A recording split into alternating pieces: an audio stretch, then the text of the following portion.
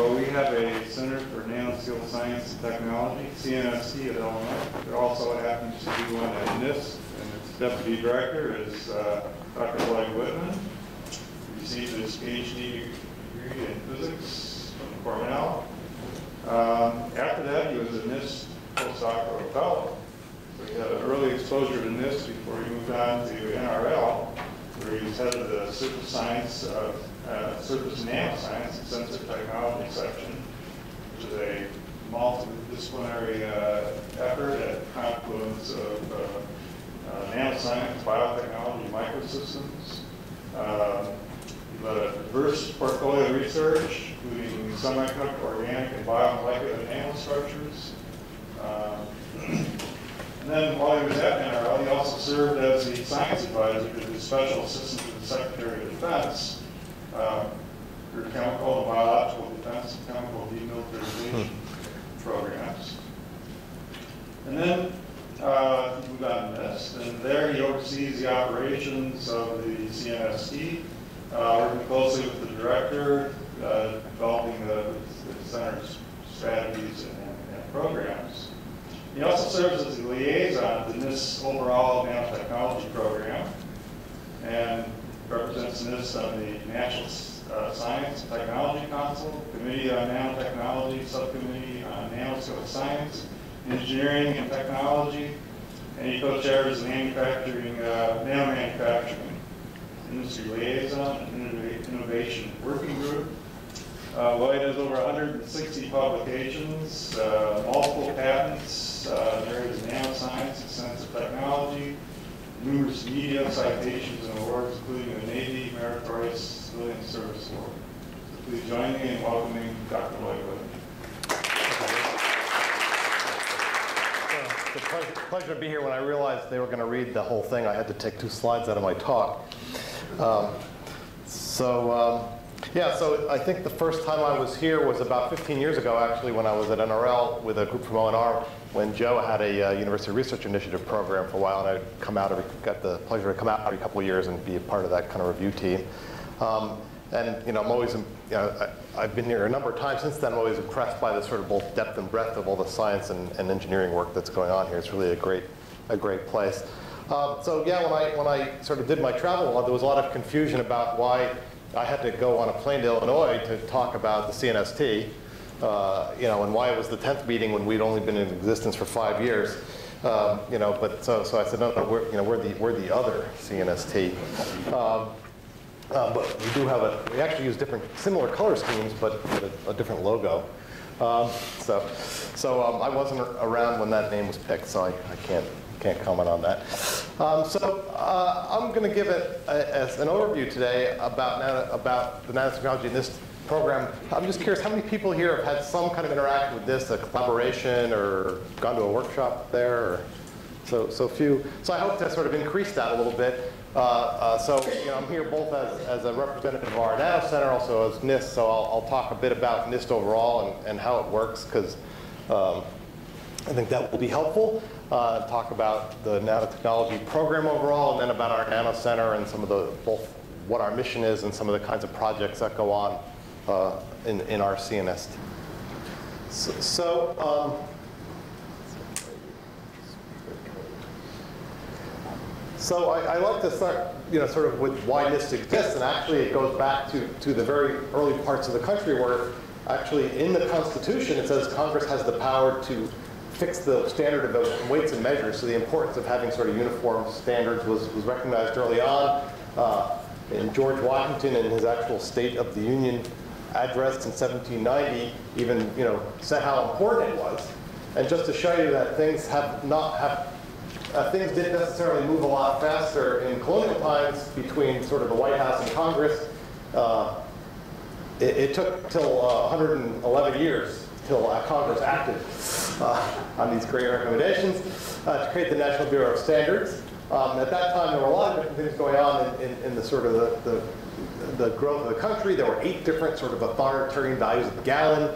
the electrical industry was coming online, and there were, were no real standards for how that was going to work. Uh, the in, industrial instruments had to be sent over to Europe, usually for calibration, and things were, you know, very uneven quality, of whatever it is you bought. And there was also even a, I think one of the big instigators, there was a big fire in Baltimore where they had problems where every fire department had a different sort of thread on each of their hoses, and when they came from, they couldn't actually hook up to the fire hydrant. So this really led to this recognition that we needed some kind of an organization that was going to sort of be the national measurement laboratories, which, which what NIST, is.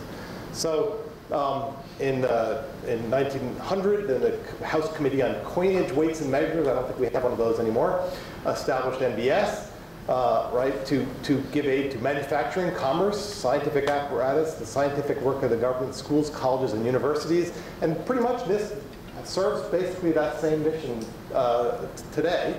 Um, in the 1980s, when, in particular, I think the semiconductor industry was going through a lot of turmoil and there was a lot of concern about more applied technologies uh, and, and the U.S. role in promoting those technologies, and NIST got a, a larger uh, portfolio. In fact, took on some external programs to fund support technology, and then we became the National Institute of Standards and Technology. So our current mission is to promote U.S. innovation and industrial competitiveness by advancing measurement science, standards, and technology in ways that enhance economic security and improve our quality of life. That sounds like a good thing to do. And, and actually, if you think about it, uh, from that nanotechnology is very easy to sort of fit into the scheme, right? So the, really, it's very organic to the NIST mission, which is just advanced nanoscale measurement science, technology, and nanotechnology. So you'll see as I, as I talk about how nano is really kind of sort of threaded throughout NIST. Okay. So just a quick snapshot. Uh, last year, our, our, our uh, budget from Congress was about $750 million. It's one of those uh, smaller agencies. Our in, sort of in-house research that most people think about of NIST is about $500 million. It's a little bit higher. We actually one of the few organizations that got a budget increase this year, even in the current climate. Uh, there's about 5,000 people uh, working at NIST uh, total. About half of those are, are federal employees. Lots of people from all their places. Um, uh, about 400 NIST staff serve on various international and national standards committees. So the sort of big parts in NIST are the laboratory user facilities, which I'll talk more about, and sort of three outside programs, uh, the Baldrige Performance Excellence Program, which is a, now a public-private uh, program that uh, awards, gives awards out to well-managed organizations. They tend to be in healthcare and education. Um, the Manufacturing Extension Partnership, which is a federal state program, each state, some states have more than one program, which basically provides support to small manufacturers. They can actually get a kind of like cost shared consulting help with business strategic and manufacturing processes.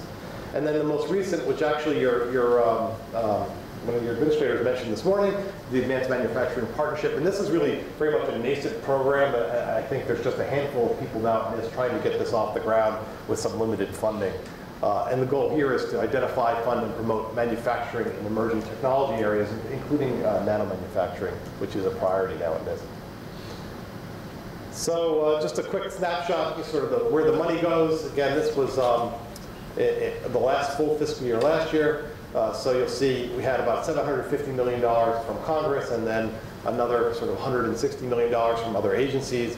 So this blue part here is the, basically the core research that's in-house.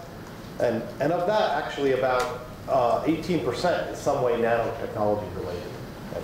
So that, that part, uh, if you take it all together, the National Nanotechnology Initiative, when it was begun about a decade ago, defined these program component areas, uh, which we report, and it kind of just shows the distribution of things around these different areas, ranging from you know, big areas being instrumentation, devices and systems, and sort of basic research.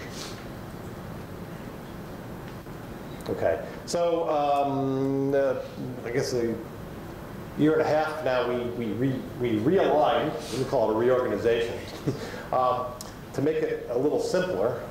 Uh, so we have sort of three associate directors, kind of like deans, um, and, uh, and six what we call organizational units now. So we have uh, two metrology laboratories. So there's the material measurement laboratory and the physical measurement laboratory. And the material measurement laboratory, basically, well, actually started with, the chart with PML. The physical measurement laboratory basically is responsible for the fundamental units, all the SI units and all the measurement infrastructure. They, they keep the time, time.gov, and the, the, the talk we heard about, uh, actually the chip scale atomic clock, which is actually a program in PML.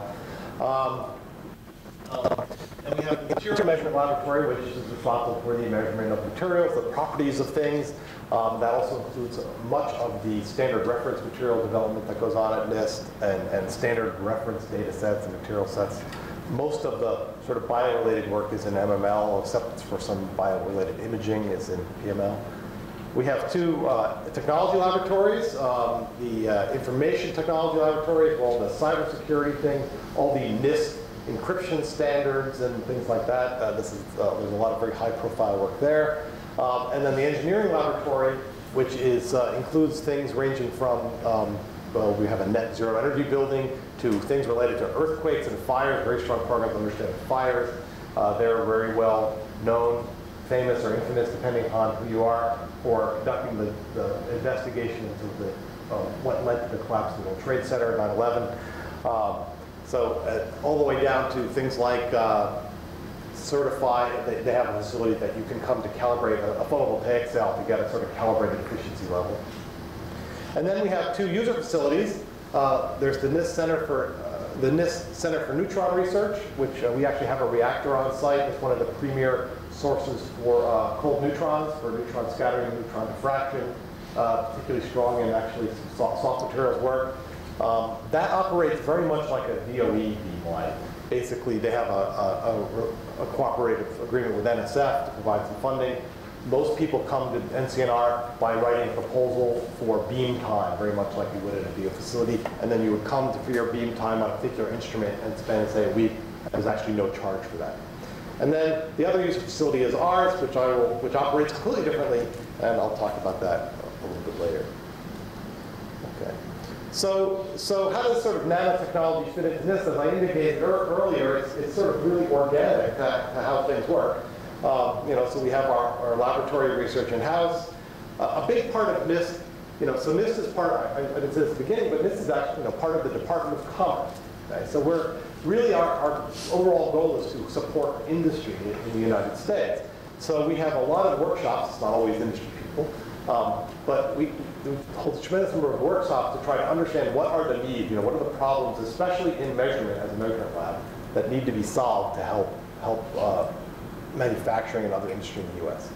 Obviously, as the name standard, the S in NIST, we do standard setting, both developing physical standards and documentary standards, uh, and then calibrations are done there. Um, Public-private partnerships, NIST has been a, a partner in the Nanoelectronics Research Initiative, both providing funding and also having people work on that. Uh, and nanomanufacturing, we're in the sort of planning stages of, of trying, looking at doing a public-private partnership in that space as well. Our user facilities, uh, we have a measurement research grants program. It's not large compared to NSF, but we do give out grants uh, at the, each of those organizations. Um, and uh, you know, co- coordinate, collaborate with, with everybody in the nanotechnology space. Um, I mentioned workshops. There's usually two to three a year just related to nano. There's something almost every week on some topic at NIST. Just to show you the breadth they'll range from, we had one on uh, carbon nanomaterials, looking at what the metrology needs were um, uh, uh, about a year ago, to um, uh, an international workshop to understand what are the challenges to using documentary nanotech standards, essentially written standards definitions and, and, and things, and how to get those. Uh, this has been a big problem internationally. Different parts of the world want to do things differently. So one of the. So uh, uh, uh, the good segue to sort of international. Um, you know, it turns out NIST actually has a very strong role internationally, uh, both as part of the Department of Commerce and in, in the sort of standard space, right? So, um, you know, if you, a good example of why this is needed is that we all travel internationally and have to carry a bucket full of electrical adapters, right? So, so there's a lot of interest in not doing that with new technologies. Uh, so, so from a, a, a policy standpoint, you really want the, if, if a U.S. industry has developed a standard, we'd really like that standard to become an, an international standard because that makes it much easier for a U.S. company to sell their things overseas. Actually, one of the tagline of our, our new Secretary of Commerce is build it here and sell it everywhere. So the idea is that we want manufacturing in the U.S., even if it's a foreign manufacturer manufacturing in the U.S. and selling worldwide. So this sort of harmonized standards is, is really important. Uh, and particularly important for nanotechnology For example, there's been a European effort to create label, mandatory labeling for things that create, uh, that contain nanotechnology. And the US has been pushing back very hard on, on that process because it's not clear what that would mean or what, if somebody would see the label. Okay. So again, we exercise this sort of leadership by being, this is a really, a really interesting area of NIST that I'm still learning about, but there's, you know, international standards committees, the ISO and ASTM, and, and there's NIST people who do uh, significant portions of their time sort of sitting on these committees and working these kind of doc, you know, uh, these sort of documents uh, that, that everyone agrees on, for example, what the definitions will be, so that every country will define things, or how you would do it, determine an economic metric. Um, so we have a lot of leadership there. And then down into the US, for example, was mentioned in my bio, I'm, I'm the co-chair of this working group uh, on, uh, that basically within the National Nanotechnology Initiative does outreach to industry, uh, industry groups. So for example, I participate a couple uh, times, uh, well, about once a month at a conference call with the uh, uh, a nanotechnology um, business commercialization alliance with a bunch of nano companies. So uh, standards, anyone here ever bought the NIST nanopart gold nanoparticles or anything? So, so we develop particles. We have gold nanoparticle reference materials. So you, these come with a spec sheet that tells you their size and how they've been characterized. And you can get them in 30, 10, 30, and 60 nanometers. There's now polystyrene nanoparticles, nanoparticulate titanium dioxide, which are coming out really soon. So these are things that are particularly important for things like environmental health and safety studies so that people are using the same kinds of materials uh, for, for their studies. There's a, a carbon nanotube reference material, it's referred to as soot you can buy, that tells you the sort of length and size distribution. Um, and they're coming out with length-sorted suspensions and something called Bucky paper. Uh, so later this year, there should be silver nanoparticles, and then there's other kinds of uh, reference materials, for example, for calibrating electron microscopes, like that. Okay, so research, as I said, it's really integrated. Just, just actually as in the university environment, you'll find nano in many, many departments. You'll find nano throughout NIST. If you're responsible for the meter, uh, um, you're responsible for the nanometer. So, so uh, you know, if you're measuring a, some particular kind of property, a, a thermal property of the material, you've got to measure that on the nanoscale. So um, of that roughly, you know, $100 million of nano money within the NIST, about two-thirds of it is throughout the other parts of the organization. Only about a third of it is in our nano center. In particular, sort of the areas that are growing in particular are EHS work and, and, and nanofabrication and nanomanufacturing is, are, are ones that are actually uh, growing quite significantly over the last year and will may again next year as well. Okay, so I'm going to spend the rest of the talk talking about the NIST Center for Nanoscale Science and Technology. Um, you know, so, so why are there so many nanocenters? There's a couple of good reasons. Uh, Bob Celotta, our director, when he just toured, says there's almost as many nanocenters as Starbucks. I'm not quite sure that we're there yet. Um, but there's a couple of reasons. One, as you all know, you only want to bring, it's very multidisciplinary. So you really want to bring people together from all different disciplines. Um, um, and, the, and the other probably big driver is the tools are really expensive. So it's really a place where you want to share resources, especially instrumentation. So we were, we were established as the Department of Commerce Nano Center specifically to sort of provide measurement and fabrication tools um, to, to advance that technology from discovery production, and to do this by making things accessible and making uh, to a wide range of people, especially and including industry, which tend not to be the favorite partners at, at university facilities. Okay.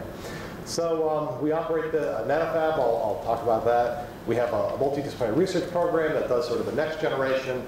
And then we have an important role serving as sort of a hub to the external community. That's in fact why I'm here today, in part, to sort of help, help do outreach. And in fact, there's a, an email, as I said, we have a, a nano at NIST.gov, which ultimately comes to me. And one of my jobs is sort of keep track of not just the nanotechnology in our center, but throughout NIST and sort of redirect people. So I'll get people to say, can you help with this, or is somebody doing that? And I'll, I'll hook them up. So sort of quick overview of our organization, right? So our whole mission is all about access. We want to provide access to world-class measurements, and we do that in, in, two different ways. We have a unique sort of hybrid design. Okay? So we have a nanofab, and we operate this part. It's our commercial state-of-the-art set of tools. That's sort of a line I sometimes draw. and, and it operates a lot like the NNIN centers, the NSF-supported ones, meaning that it's very easy to get into and you pay à la carte. There's a tool rate, you pay X number of dollars for this tool and X amount of dollars. We actually use the Coral system that was uh, developed at Stanford. Um, and and uh, it's really easy to get into, and it's a commercial state of the art. Now that's really important um, if you're if you're trying to support business, because if a company's coming in and wants to develop something, they can't really develop it on a 20-year-old tool because then that's going to not be a process that's available if they're going to go to a foundry or set up or, or go to some large wafer scale some uh, assembly somewhere else. And it can't be some cutting edge thing because they don't then they can't do that either. So it really needs to kind of be commercial state of the art and we uh, actually spend a lot of money keeping our nanofab in that state. Then we have a research staff, which is sort of a little bit more like the DOE nano centers, um, in that you work directly with the people on their instruments, but, uh, but you don't actually sign up for that. That's done very much bottom up. Um, and this is sort of the beyond the state of the art. So these people will go out and look for what the challenges are in nanotechnology. They're cross-cutting and, and develop uh, new ways to do that. Uh, last year, our budget was at 28 million. It's actually about 30, uh, excuse me, it's actually, I think, turning out to be closer to 30 this year. Um, so we started five years ago uh, with a seed group of about 20 people. It was, it was a whole new organization in NIST, not a reorganization. Um, and uh, I joined four years ago when we were about 50, and now we're over 100. Actually, with our summer interns and things, I think this summer we'll be at about 120, which is every possible place to sit. Actually, less than that. The, we have 10 students who are going to timeshare in six carrels. Um, um, we also have a cooperative agreement with the University of Maryland NanoCenter, which is particularly important. It enables us, gives us a lot of staffing flexibility, enables us to bring in postdoc, people on sabbatical, our visiting fellows, very quickly and very easily, and regardless of, of citizenship. So, okay. So I'm going to talk a little bit about the NanoFab because though you guys have a great facility, uh, it might not have, have, have, everything you need. And we serve not to compete with other places, but, but to supplement them and, and, and to provide some other unique aspects of our operation. Um, um, we also have an 8,000 square foot clean room, though that's 8,000 at class 100. It's actually about 60,000 square feet total of space, uh, including space outside the clean room and a whole corridor of things with FIBs and TEMs, for example. We have about uh, probably about $40 million worth of tools, and, and, and probably just the clean room is probably about a $50 million building. So it's something like $100 million of, of government investment. Uh, we have very good uh, lithography tools. We have actually two EV lithography systems, a Vistec and a JEOL. Uh, we're just about in the middle, almost done installing a stepper. We have very strong microscopy and fabrication, so we have um, field emission SEMs. We actually have two Titan TEMs. One I'll mention is going to be becoming an environmental TEM. Uh, we have uh, actually three FIB systems now, in Zeiss and two FEI FIB systems. Um, what's really different about the academic facilities is that, and, and, the way the DOE runs their, their resources like this, is that we have in the NAF about 15 people, basically all from the semiconductor industry. You know, we did just hire somebody from a Florida nanocenter, um, who basically are 100% customer service. So these are not research teams, they're not researchers or expert users that have to train somebody else.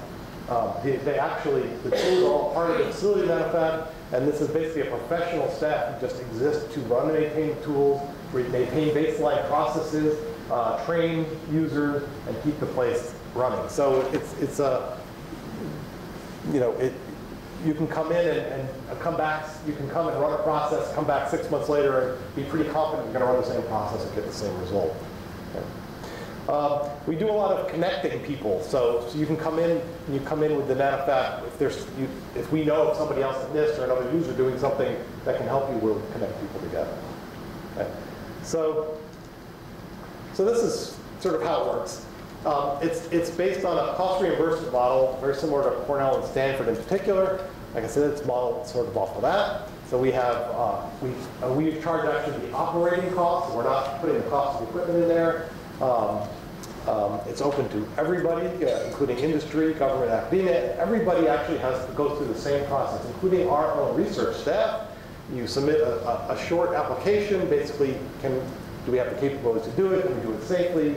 Does it make sense to do? Is it supporting that technology? Um, And that whole process of sort of going, of filling, submitting that and getting, saying, yes, you can come, can, is typically running about two weeks. It's very quick. Okay. Um, you can apply for reduced rates. Basically, if the project advances our mission of advancing nanotechnology, then we pay about 40% of the cost out of our congressional budget, and that makes the rates similar to academic rates. So just to give a point of reference, the clean room charge, I think, uh, per hour, which includes a lot of the basic lithography, uh, some, some of the lithography and wet chemistry, I think is $27 an hour. Um, um, We provide training, though there is some cost involved in that. Uh, um, We even have the capability to do remote work, subject to the availability of our staff. So you have a really specific thing you want done, say on our e-beam writer, that you don't have the capability to do, you can actually send it to us and pay for our staff, like, staff time to actually run it. Um, What's really different about a lot of the other nanocenters is we don't claim any IP rights at all. So you would not even government use rights. So if you come in and you invent something as part of your project or our facility, even in the case where we're paying 40% of the cost, we don't, you have not given up anything. And that's really important to, to, to companies. Um, unless, the only exception to that is if you're working with one of our pro- process engineers and it becomes a co-inventor. And then it's just like when you co-invent with somebody with a collaborator, uh, another university people working at. So the starting point for the NanoFab always is to contact Vince. He, um, he comes out of the, he worked at Honeywell, uh, uh, and a bunch of other companies, so he knows a lot about processing and things, conversations start with him. Okay? So we talk about our measurement, uh, measurement research. Uh, so this is the sort of the beyond the state of the art. So we have three sort of areas that we're focusing in, but it's designed to be very flexible. So we, we have a really sort of flat management in our organization. We haven't created sort of, we have very, almost no stovepiping with the idea that nanotechnology is very dynamic, it's going to change, so we don't, we don't want to get into, well, you're in this group or you're in this department, so we can't do that anymore. Or we have to keep doing this because we created something with this name. So there's three areas, future electronics, uh, and this uh, includes a lot of uh, graphene topological insulators, nanophotonics, nanoplasmonics, um, spintronics areas, uh, nanomanufacturing and, and nanofabrication. So this ranges from top-down, developing new e-beam resists and ways to measure, say, acid diffusion and resist, to bottom-up, doing things like DNA templated self-assembly. Uh, and then energy, and, and, and, and a lot, sure everyone here knows, that a lot of the innovations in the energy space include nanostructured materials or interfacing. Now, you know, we don't have an energy, so I, we don't have a battery development program, but we have uh, a staff member who's developing really neat ways of measuring transport in a battery, and I, actually I'll show that. So our goal is to measure, develop these measurement systems or technologies or instruments that can be applied to key materials and energy and then work with other people on those. Uh, so again, it's a sort of bottom-up through collaboration. Um, so I'll go through just sort of our project leaders. In this area, we have, I, I think, we just had one left, eight- 19 people or 18 people. Um, so I'll kind of go through and just to give you a sense. And you, our, this is it's very easy to find on our website. I also have some brochures, a handful of ones people are interested, especially people looking for postdocs. Um, so Joe Stroscio, who's an expert on atomic scale characterization and manipulation, and I'll, I'll show an example. He has the, one of the most, probably the most sophisticated scan probe microscopy system in the world. Um, Alex Liddle, who has a collaboration with Ben Shapiro at University of Maryland, uh, actually manipulating uh, nanoparticles in three dimensions. Uh, Renu Sharma, who's uh, putting together an environmental, she's an expert on TEM and environmental TEM, and will have a system that can do, uh, I forget the temperature and pressure ranges, but environmental TEM with in, uh, in situ uh, optical spectroscopy. Um, uh, McClelland, who does laser atom manipulation and has some really neat technologies for making um, basically fibs using laser-cooled atoms instead of gallium. Um, uh, Greg Gallatin, who uh, does a lot of simulation and modeling of things like nanolithography. Uh, Alex Liddle, who's actually our group leader and uh, actually a national leader in nanomanufacturing right now and nanofabrication. Bob McMichael, who does nanomagnetic dynamics, things like uh, domain wall dynamics. Um, John Unguris, who does imaging, a technique called SEMPA developed at NIST, which can look at things like the, the uh, domain structure in, in, in uh, you know, nanoscale uh, magnetic storage. Alec Talin, who's looking at the nanomaterials for energy storage and conversion, and I'll, I'll show a little project of his. Kartik Srinivasan, who does nanophotonics and how to measure light in small spaces. I'm going to show an example of that. Henri Lezec, who, in addition to being one of the world's experts on FIB, is also uses FIB to make really novel nanoplasmonic devices. Nikolai Zhitenev does uh, electron and ionic transport in both electronics and photonic, uh, uh, like PV systems. Uh, Rachel Cannara, who's a uh, nanotribologist. Uh, Vladimir, who does NEMS and MEMS, and I'll uh, let's see. Mark Stiles, who is a theorist, mostly DFT kinds of things, and uh, has done a lot of theory in spintronics. Uh, Paul Haney, one of our newer theorists, who's looking at the theory underlying things like thermoelectrics and 3D PV. Uh, Fred, who we stole from GE, who's mostly doing thermoelectrics and some other uh, PV work. Uh, Ron uh, Szalai, um, who's looking at artificial photosynthesis type uh, uh, nanocatalysts, and then Andrea Centrone, who's looking at trying to do various kinds of uh, infrared and chemical analysis beyond the diffraction in the IR. So I'm going to give a couple of just quick examples of projects and then show two sort of little sort of longer narratives about how things work, how you come and work with us, and how the, when everything works right, it works. So this is a quick couple of the projects examples. And almost all of these involve multiple project leaders and multiple institutions. Uh, so we have um, Kartik and Vladimir working together. Uh, so a big issue with scan probe uh, that, that um, for example, the tip-based fabrication people would know about, it has to do with the bandwidth of the probes and how quickly you can move them. Um, so Kartik, who's an expert on, on confining light to small spaces through things like ring, optical ring resonators, and Vladimir, who's a net, NEMS guy, came up with this really interesting hybrid approach where this structure here is a micro disc, a micro resonant optical disc, and then there's a very thin flexure membrane here that with a gap of about 200 nanometers, and these little posts here are landing pads for a pooled optical waveguide, which is a technique uh, Kartik's developed. So basically what happens is they set up a, a resonant optical field in this structure, and the evanescent field interacts with this cantilever. Now why would you do this? Well, you can make this a very high bandwidth uh, uh, flexure device and you can measure the optical, uh, the change in this optical resonance with optical techniques at extremely high bandwidth, so you can measure the light.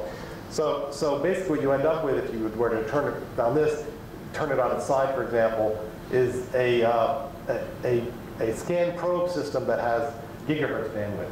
Um, so they've actually demonstrated this at a femtometer per root hertz. It also turns out that by you changing the laser input, you can actually adjust the cantilever stiffness because of the interaction with this nano NEM structure in the optical fluid. There's a reference.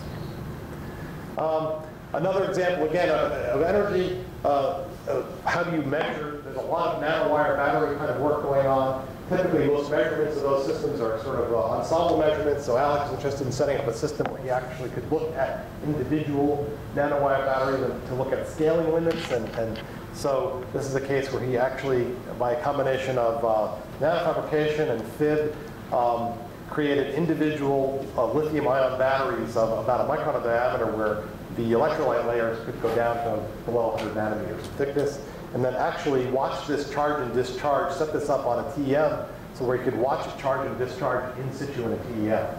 Um, um, and for example, what, what came out of this was that he discovered that there seemed to be a limit at about 200 nanometers for the electrolyte, you'd start to get breakdown. So again, it's a question of what is the scaling limit in a system like that? How do you measure it?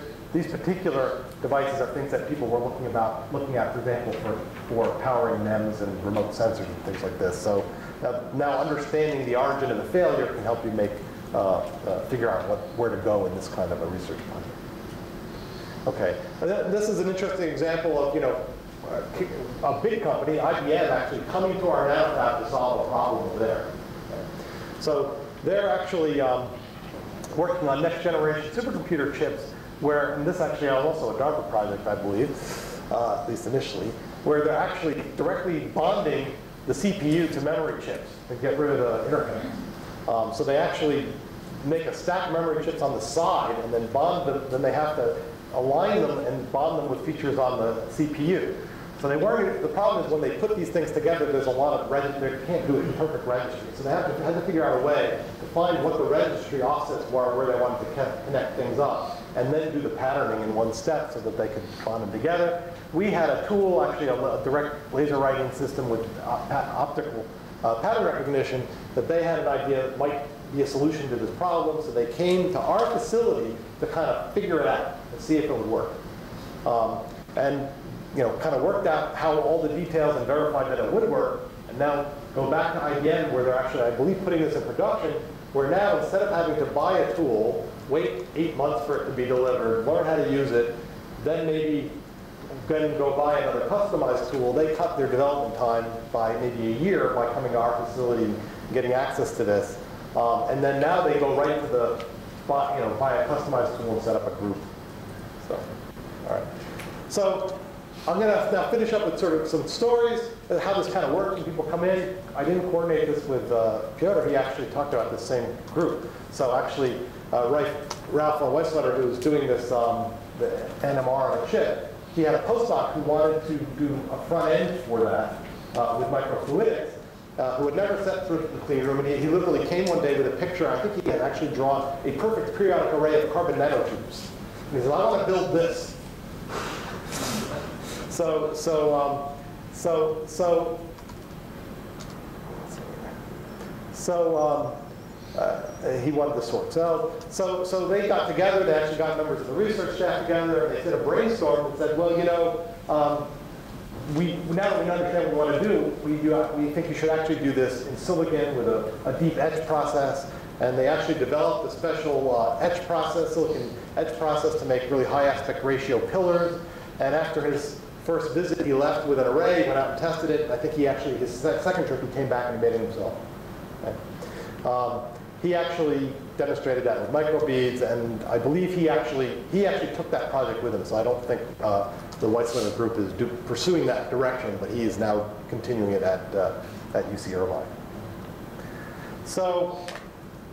Uh, sort of the other side of this is this measurement research story. Um, uh, Joe's program is a really good example of how all this works in terms of our, our, our sort of uh, philosophy and, and how we have the place set up. So, you know, a key measurement need for electronics and nanoelectronics is really high resolution imaging spectroscopy. At the most fundamental level, you really want, for things like graphene or topological insulators, you really want to be able to do not just imaging, but spectroscopy. And the higher the uh, energy resolution, the better. Right? Um, now, Joe's an expert. He's been built a series of increasingly sophisticated scan probe systems.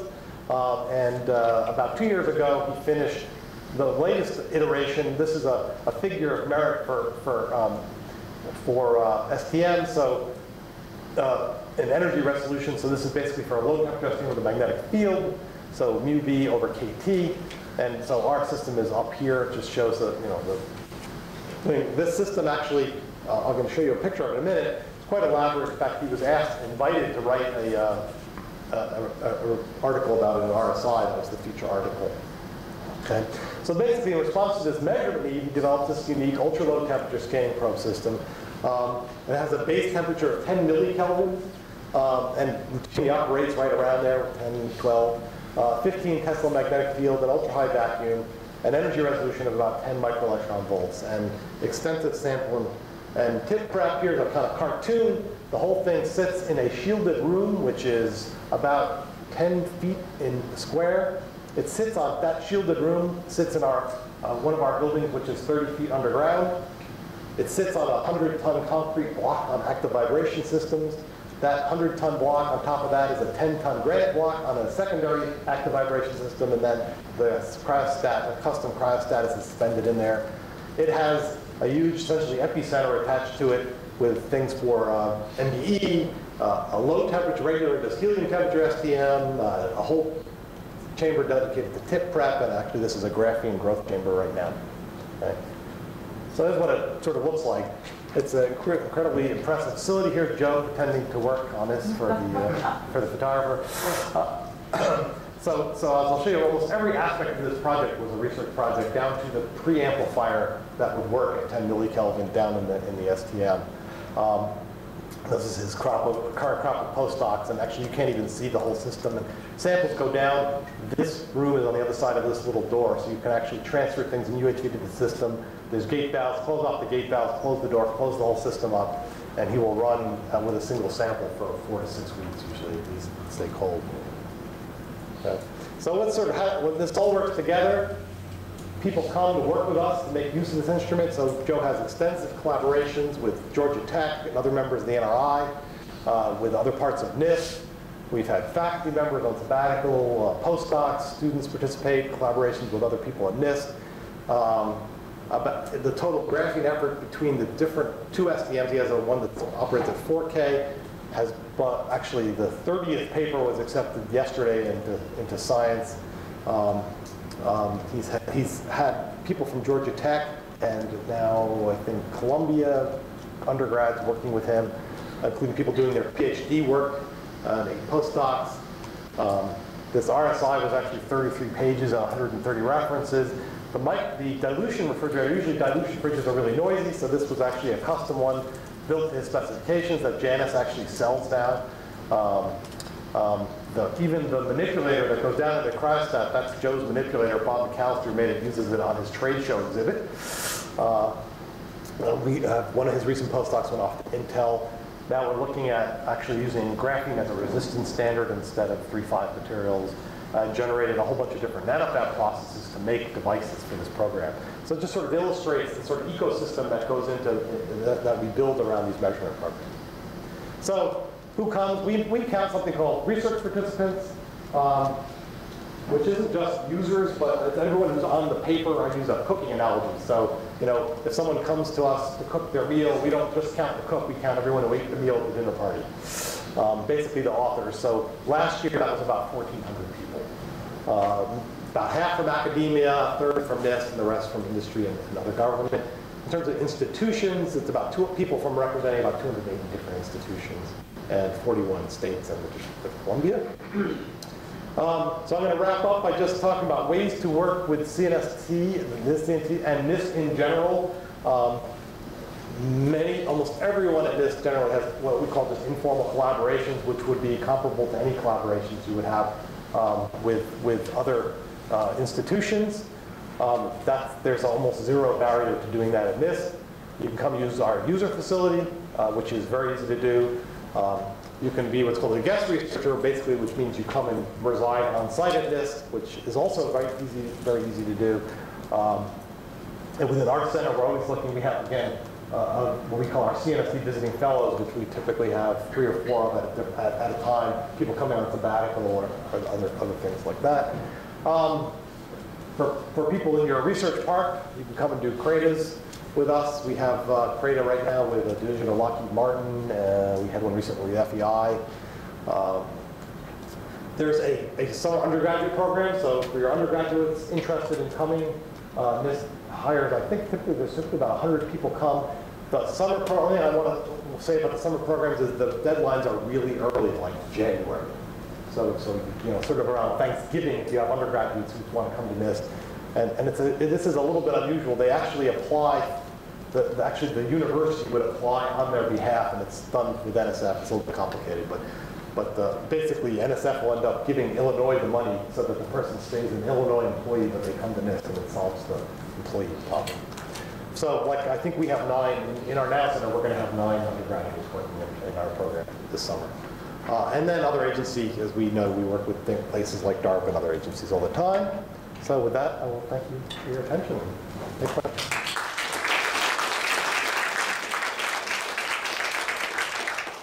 Thank you very much for your talk. We have time for some questions. So what's the status of this ATP program? So the ATP program ended in about five years ago. Right. Then there was a, I, I gotta be careful because they're, very- they're very picky about it. It was, there was a new program called the Technology Innovation Program, TIP, which uh, was, which was a little bit different and then was zeroed out in last year's budget. So there are still awards going on. Uh, the, the problem with it is, especially in the current environment, is it just never kind of got big enough. So the goal of it was to help industry and, and, and sort of be sort of valley of death kind of funding in selected areas. But even the big, you know, in, in FY '10, it was something like $40 million. So, you know, if you compare that with even some of the DARPA programs, and you say, what kind of impact is that going to have? Then- But they did in fact fund, for example, a bunch of nanotechnology, mostly nanomaterials companies to try to help them get to commercial, you know, get to manufacturing. Um, But in the, in the budget environment, given the choice between funding the in-house programs and funding that program, Congress zeroed that out last year. So the, the official phrase is, it's in the process of an orderly shutdown. So, So uh, are internationals also invited as researchers uh, to come in? or- Uh, yeah, so in our case, we have an extremely, I have another slide of, you know, extremely international group. Uh, right now, we have someone like a, we've had, we have a, let's see, someone, a senior person from Japan right now. We've had people from Korea. Our postdocs are from all over the world. So part, part of this is our relationship with University of Maryland is that, because our goal is to hire the best postdocs from around the world, from anywhere, doesn't, regardless of where they're from. So we have postdocs from everywhere. Um, um, So, yes. So basically, any, the, the limitation is anyone can get on the campus. So right now, there's about three countries. So right now, the, the only real, well, uh, I think the biggest problem we have right now is with Iranian citizens, so, which can be a problem because there are many Iranians in the, that even have dual citizenship, but we, we have, Commerce Department Security has a thing about Iranians, unfortunately. So how, how much did it cost to build Joe Stroscio's mic?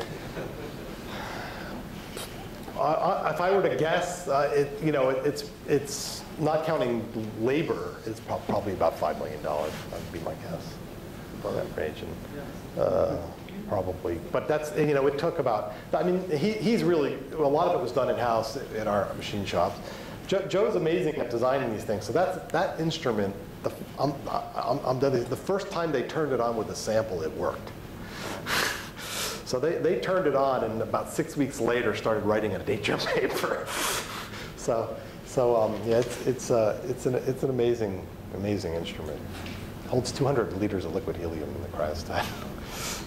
Are there other major facilities under construction now or anticipated? Well, we're, we're, we're just about finished building, so we built up from, you know, scratch about five years ago. So there's still a couple of like the TE, environmental TM system, which is, is under construction, will be a, also probably not as big a room, but probably similar expense. That's going to be a, a- an impressive instrument when it's done. So that, it was actually, one of the pictures I showed was Renu Sharma sitting in front of this with the covers off. But that's going to be a, a, a really unique, almost all the systems are pretty unique uh, systems. So.